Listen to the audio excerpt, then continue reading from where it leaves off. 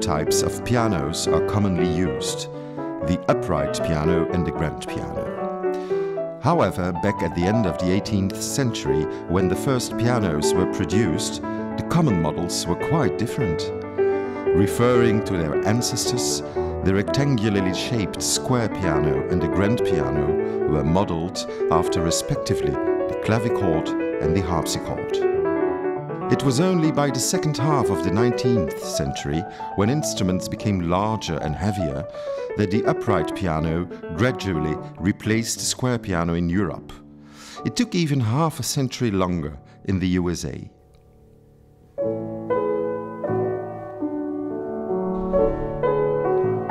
This beautiful ebony polished and hand-painted art case square piano was built by Steinway and Sons in New York in 1869. An era where the production of their square pianos was most successful, overshadowing all other models. Steinway and Sons built some of the finest instruments in history, and this truly is a unique example of Steinway's square piano at its best. Contrary to what one might think, it was the square piano and not the concert grand which enabled Steinway & Sons to develop its prestigious brand as well as its business success since 1853. This new model square piano was already equipped with a cast iron frame and crossed strings, resulting in a top-notch instrument.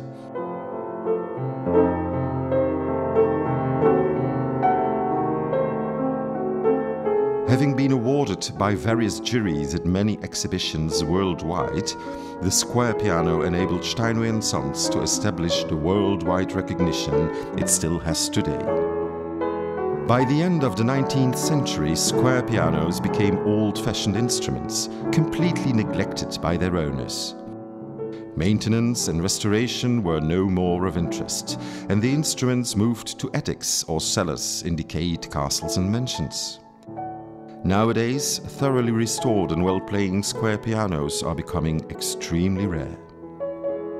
This 1869 Steinway & Sons square piano number 20232 is undeniably an extremely rare and valuable specimen.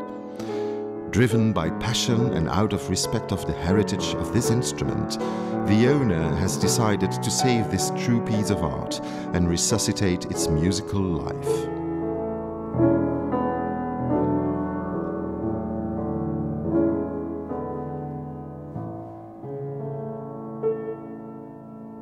The authentic restoration of a unique keyboard instrument requires historical knowledge and long-time experience from an instrument manufacturer. In order to preserve the authenticity of the instrument, it is most important that all different lacking parts are handmade and that all 19th century techniques applied during the restoration process are truly genuine. These particular skills have been researched and developed for over more than 80 years in the Chris Maene workshop. Before starting the restoration process, the current condition of the instrument is analyzed and documented by pictures, measurements and drawings. Missing and ulteriorly added parts are inventorized. Then the piano is completely disassembled until a solid base is found on which the reconstruction can get started.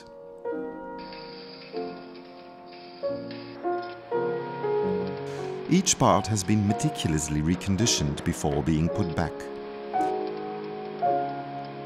The soundboard is the determinating element in this process, since it gives projection and color to the sound. Therefore, and instead of replacing the mostly cracked and bent soundboard, a well-grounded restoration is key. In order to preserve the authentic sound, stringing is an important issue. Research and knowledge are required to determine the correct strings.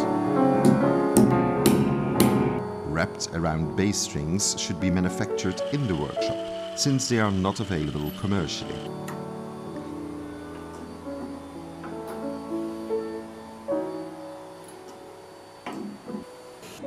Apart from the sound, every pianist is relying on a fluent, responsive, and reliable action.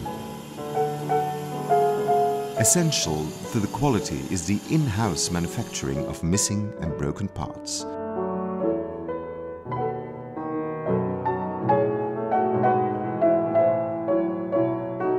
The precise adjustment and regulation of every mechanical element proves to be a true feat.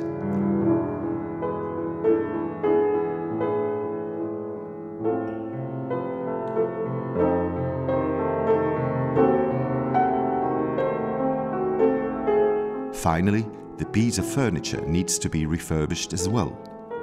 Ancient techniques such as natural gluing and French polishing need to be applied. A full restoration of rare historical pianos requires specific research, knowledge and talent. The Chris workshop, specialized in these restorations, consists of a loyal, extremely committed team of craftsmen trained and managed by Chris Maene and his son Frederic. They see it as a true honor to restore the grandeur, beauty and elegance of rare and iconic instruments of the past and to hand over this legacy to the next generations.